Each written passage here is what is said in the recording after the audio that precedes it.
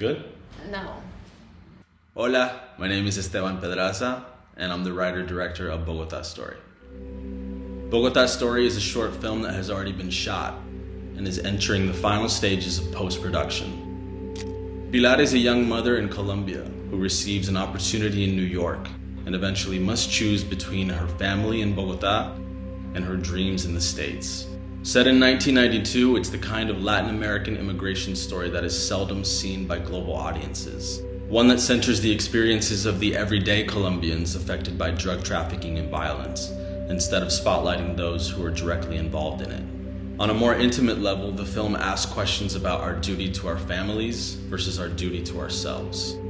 Though fictional, the film is inspired by my parents and the challenges that I don't remember living through as a baby. And after making films for almost a decade in the US, this is the first one that takes me back to my roots in Colombia. For my most personal film yet, I assembled my dream cast and crew.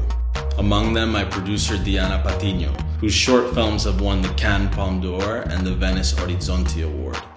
In August of 2022, along with many other globally renowned crew members, we battled together through endless obstacles to shoot this period piece on 16mm film over the course of five and a half days in Bogota.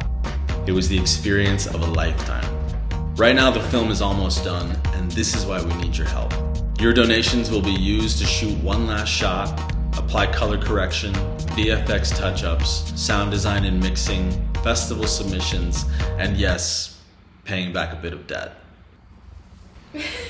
My vision for the film is to premiere at a top tier festival in 2023 and to be a stepping stone to making the feature films that I've been writing. I hope you'll join me and my incredible team in finishing this film. We need your support to share this story. Thank you.